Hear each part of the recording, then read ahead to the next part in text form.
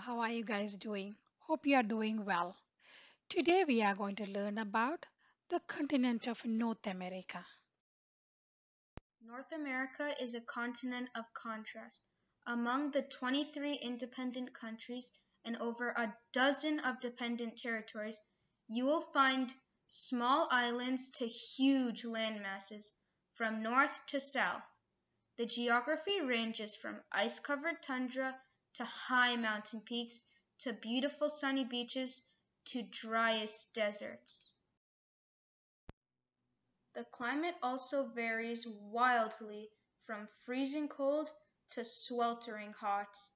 Vegetation and wildlife adapt and thrive in every climate across the continent. You will find so many different cultures and variations of places and ways people live. It doesn't matter where you live, you will love North America.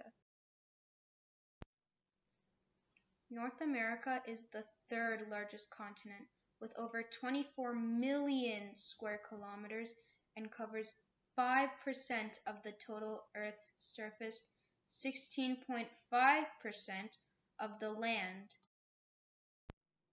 America is named after an Italian explorer, Amerigo Vespucci. He brought forth a revolutionary concept that the lands Christopher Columbus discovered was not part of West Indies but a separate continent. North America is divided into three regions Northern America, Central America, and the Caribbean continent of North America is divided into three regions Northern America, Central America, and the Caribbean. Northern America is all the area above Mexico, which include three independent countries Canada, United States, Mexico, and Greenland, which is part of the Kingdom of Denmark. Central America is all the area south of Mexico, but they are part of the main continent of North America. So seven countries, Guatemala, Belize, Honduras, El Salvador, Nicaragua, Costa Rica, and Panama. Caribbean Islands. Caribbean island area is considered all the islands that are in the Caribbean Sea and surrounding area.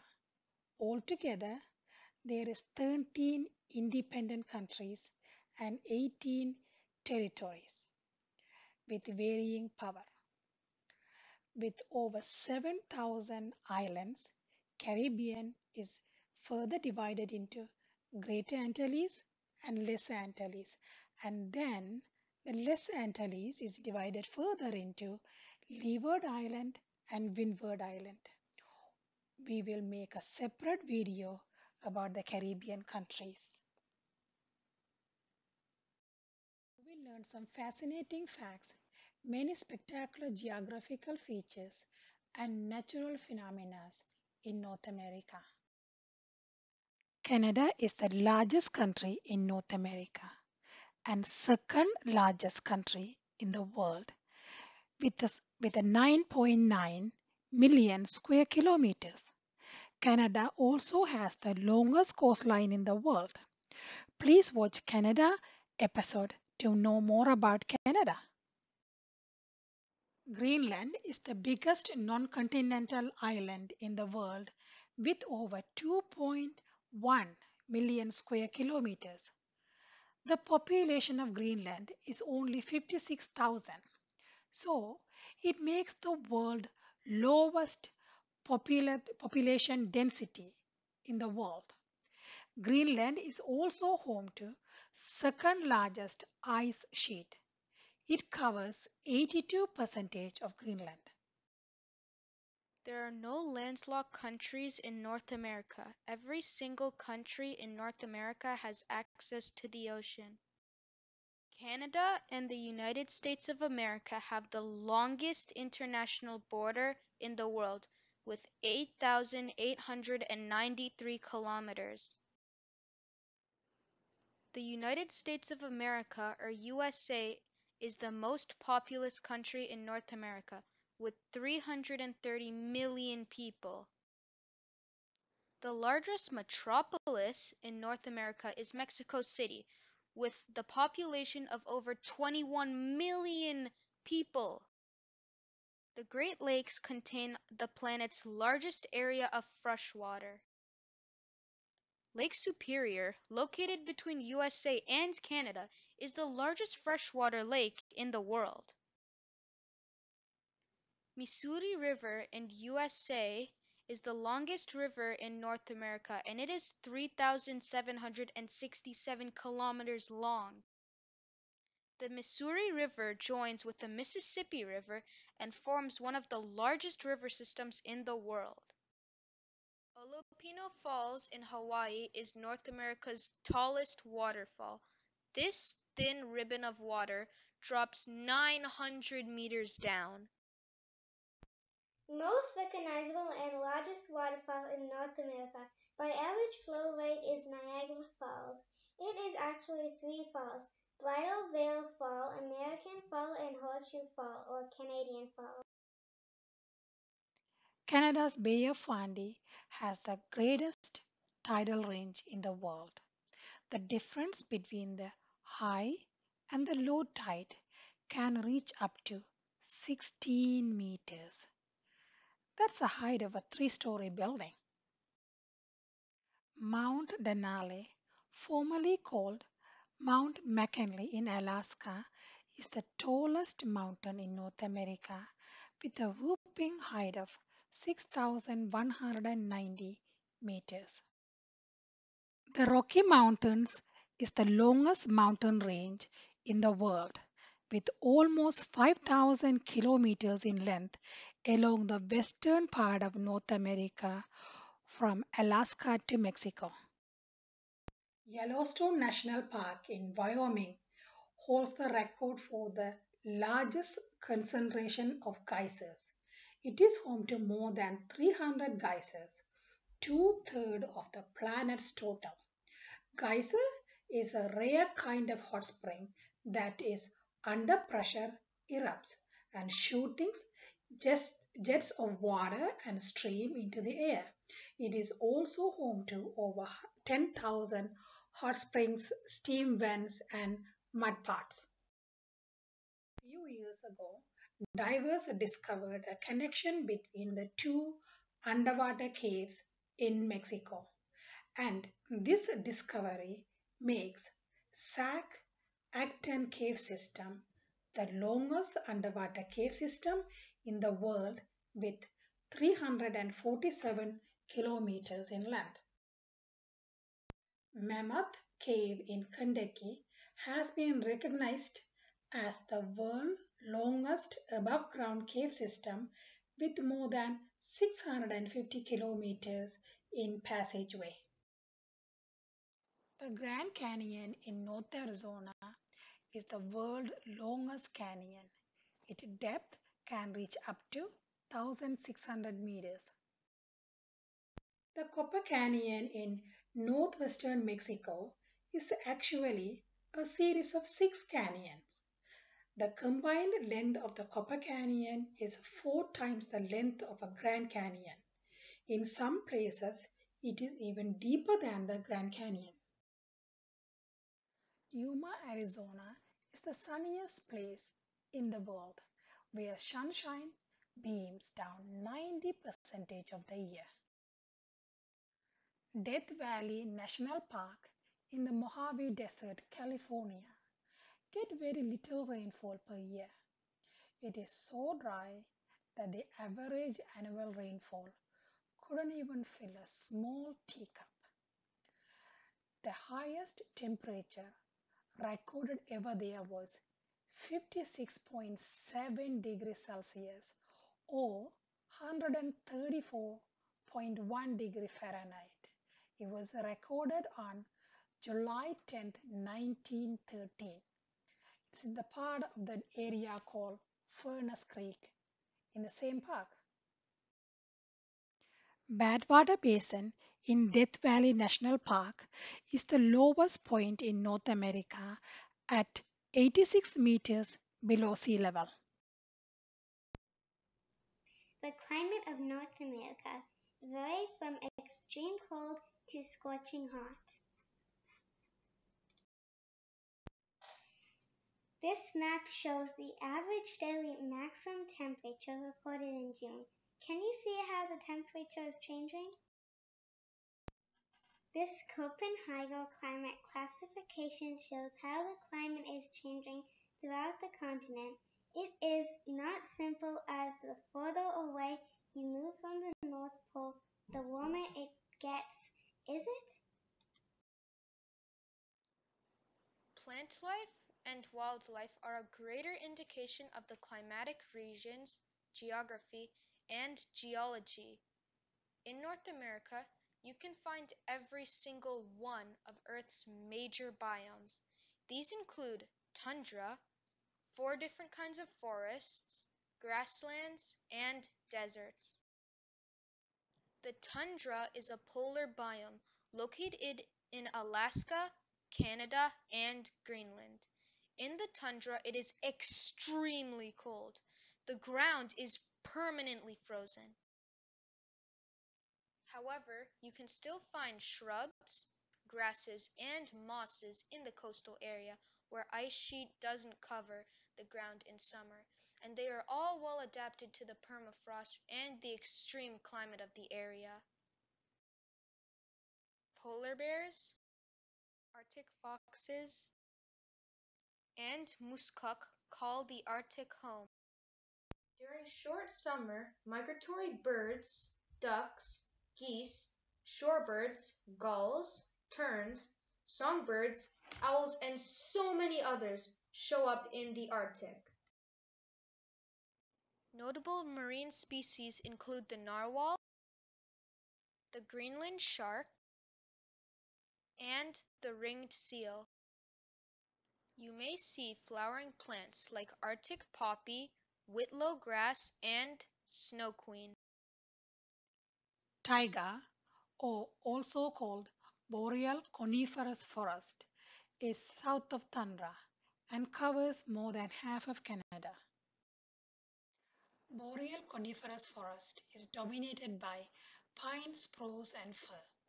As you move further south, you may see broadleaf tree like white birch and balsam poplar.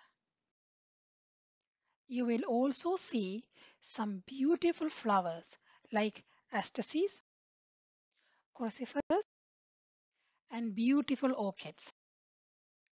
Billions of birds live in or visit boreal forest, including these hummingbirds, these cute and colorful kingfishers, and these determined woodpeckers. So many mammals live in the boreal forest too, like these wood bison, many antlers like these elk, coyotes, moose, and deers all coexist in the boreal forest or it's called taiga. Insects play crucial part of boreal food webs and play important ecological role as pollinators and decomposers. There are numerous species like beetles, moth, and caterpillars can be found in boreal forest. Temperate rainforests are home to a rich diversity of species, many of which are found nowhere else in the world. It covers Pacific coast of Alaska, Yukon and British Columbia and west coast of United States. The landscape is complicated with islands and fjords, and many species depend on both the forest and the ocean. You will find the tallest and oldest red western cedar and redwood trees.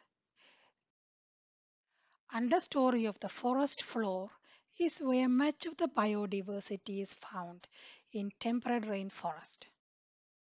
Shade-loving shrubs like Pacific rhododendron, blackberries, salmon berries can be found in here. You will also find the luscious green ferns like Oregon oxtail or sword fern or lady fern. You will also find mosses cover the fallen log and many variety of mushrooms cover them. It's beautiful.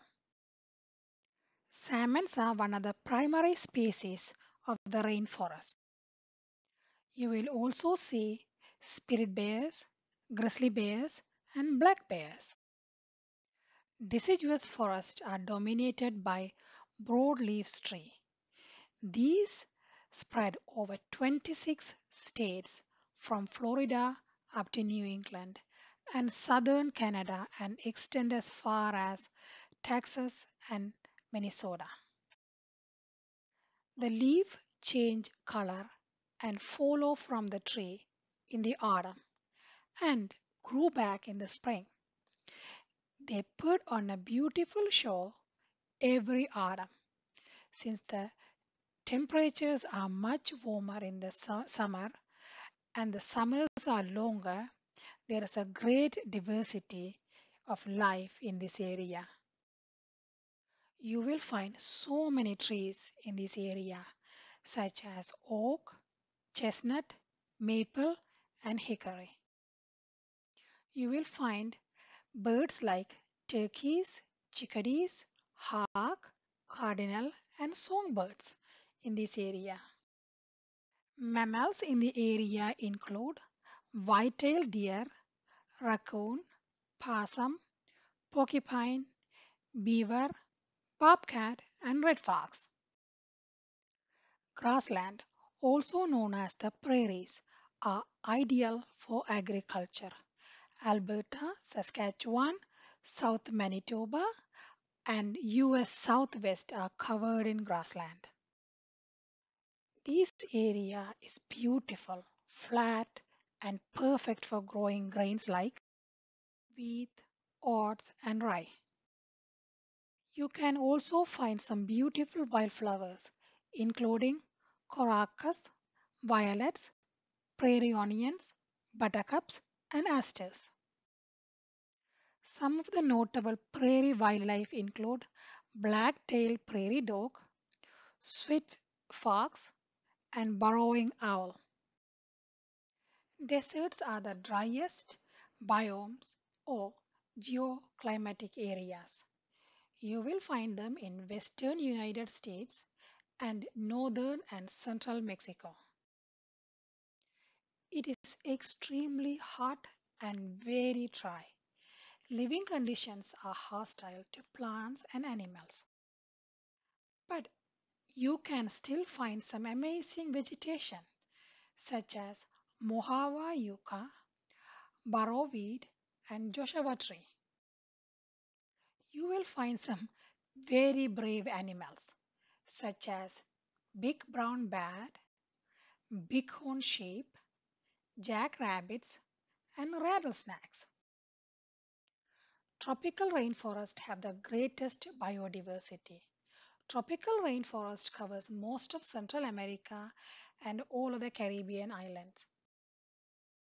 This area is dominated by broadleaf tree that form a dense upper canopy. You will find them some stronger trees like mahogany and teak, as well as softer trees like fern and banana. Some of the endangered wildlife include orangutan, these playful gorillas, these fast running jaguars, these talking Puerto Rican parrots, these beautiful sharp skinned hawk, insects, amphibian, and reptile all thrive in ra- tropical rainforest.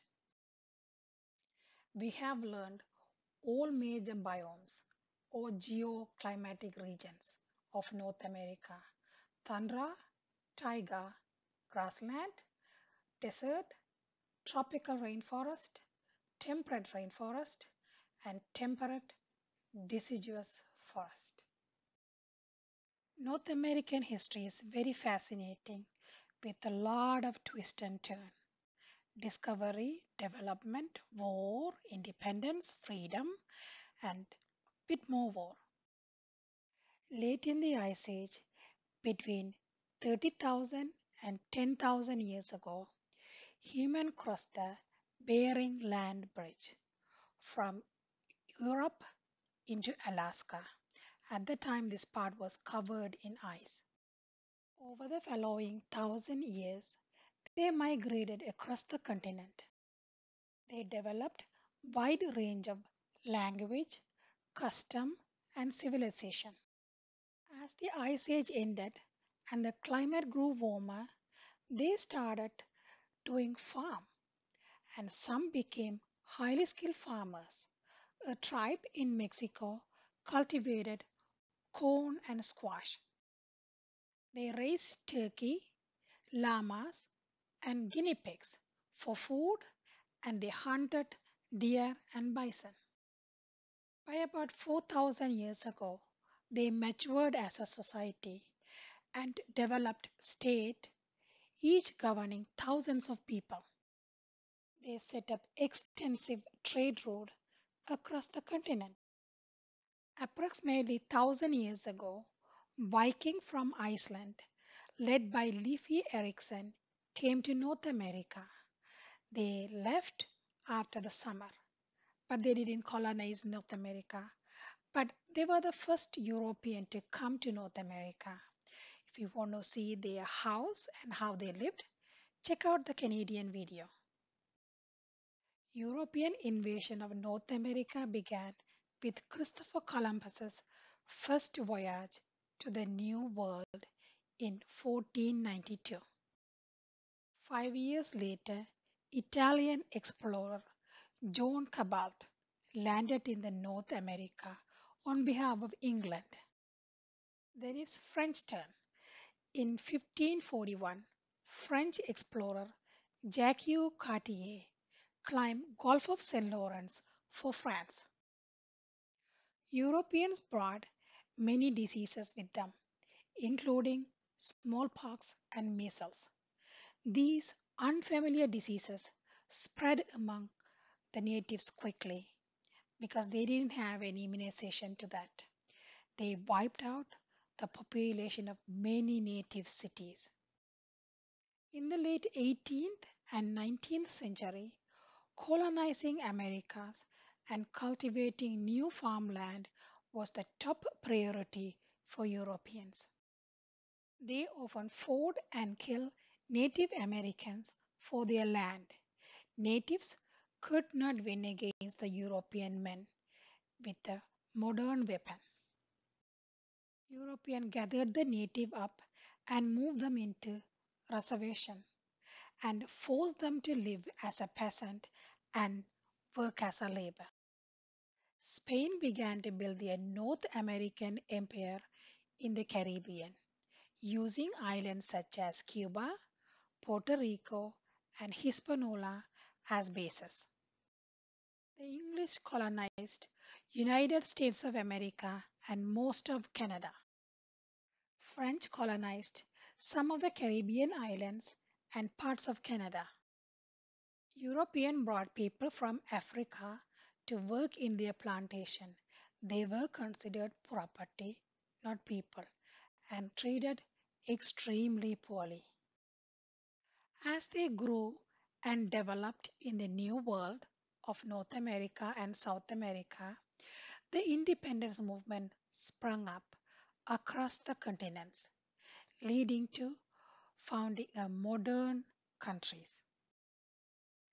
13 British colonies on the northern Atlantic coast declared independence in 1776 and became the United States of America. Democratic institution developed gradually and peacefully for the most part developed in Canada. The first representative government was established in 1758. If you want to learn more about Canadian history, please check out the Canada episode. New Spain, a territory that stretched from southern US to Central America, declared independence in 1810 and became the first Mexican empire. Abolition of slavery was a slow process. It started in early 1800 and it was a struggle and a fight. United States launched an invasion of Canada in June of 1812 and it wasn't successful. President Abraham Lincoln used his role as a commander and in chief to issue an Emancipation Proclamation. Finally, slaves were freed by the Union soldiers in 1865. In 1867, Dominion of Canada included four provinces Nova Scotia, New Brunswick, Quebec, and Ontario. North American demography is diverse as it comes. It has many different kind of people, religion, and language. North America is the fourth largest populous continent with a population of 592 million people. North America is ethnically diverse. Its main three groups are Caucasian, Mestizos, African American. Caucasian usually refer to people who are European origins with light skin pigmentation. Mestizo are mixed people, mainly Spanish father and an indigenous mother. African Americans are descendant from African origin with dark brown skin. There's a significant minority of indigenous American and Asian and many other group of people now living in North America. English, Spanish and French are dominant language in North America. 85% of North American believe in religion. This map shows the percentage of the population who believes in religion. The darker blue are the higher percentage of the population. Christianity is the largest religion in United States, Canada and Mexico. According to a 2012 survey, 77% of the population considered themselves Christians. Other minority religion with a significant number of people include Jews, Buddhists, Hindus and Muslims. Current North American culture reflect ethnic patterns and influence of European colonists, indigenous people and African American. You can notice more British and African cultures in the USA and some part of English-speaking Canada. Western United States and Alberta, Canada shares a cowboy culture. French Canadians have strong tie with French culture. Greenland shares some cultural ties with indigenous people of Canada, but you will also find some Danish culture there. Mexican and Central American share a common past as former French colonies as well as the indigenous people that lived in there. In the Caribbean, you can experience Spanish, indigenous, and African cultures all melted together. The economy of North America is comprised of more than 579 million people, 23 independent countries, and 15 dependent territories. Canada, Mexico, and the United States have significant and multifaceted economic systems. The United States of America has the largest economy of any country in the world. North American economic sectors are agriculture, manufacturing, service, investment banking, and tourism. North American economy is well defined and structured with many trade blocs, including United States, Mexico, Canada Agreement, the Caribbean Community, and the Central American Free Trade Agreement. Thank you for watching. Please smash the like button and subscribe so I could get a cookie.